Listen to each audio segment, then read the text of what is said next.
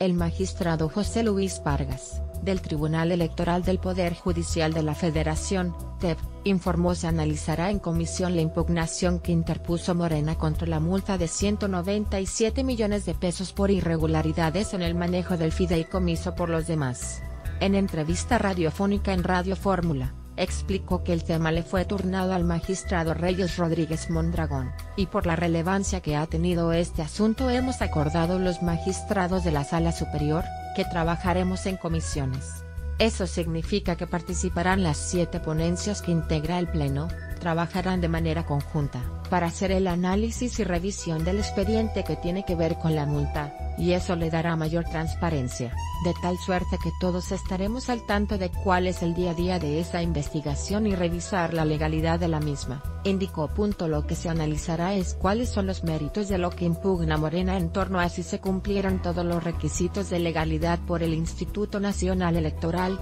INE, y analizar el fondo del asunto si se da lugar o no a la resolución impuestas. Política multa morena no afecta triunfo de López Obrador, asegura INE señaló que aún se desconoce formalmente la impugnación, porque no se les ha turnado el asunto, y además no se puede pronunciar una opinión, ya que eso los imposibilitaría participar. En general todas las quejas que tienen que ver con fiscalización cuando se trata de una multa, lo que analizarán es, por un lado, cuál es el origen y destino de esos recursos, y en segundo lugar, cuál es la fundamentación de la autoridad administrativa para llegar a la conclusión de sancionar a un partido o a un candidato.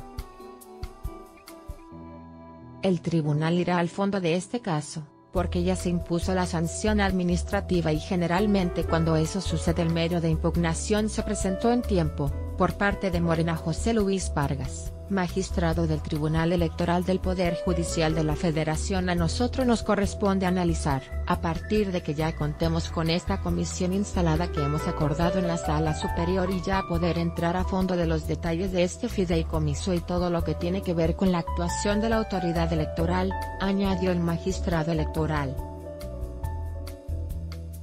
Política FEPADE investigará fideicomiso de Morena destinado a damnificados.